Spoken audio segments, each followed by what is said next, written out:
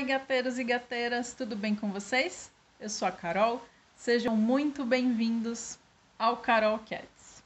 E a minha dica de hoje é bem rápida, mas é só para lembrar que os gatos precisam sim de interação social.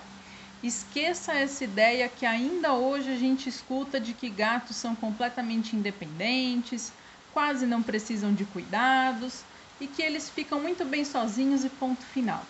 Na verdade, faz parte sim, tem que fazer parte da rotina do gato a interação com o tutor, com a família, esses momentos em que a gente brinca, em que a gente estimula o nosso gatinho, está sempre em contato com ele.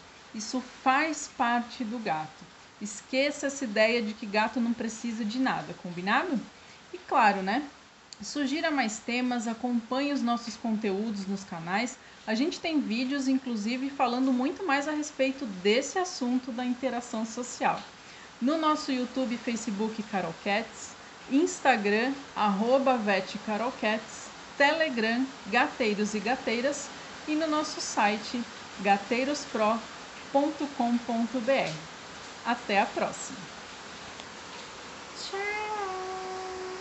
thank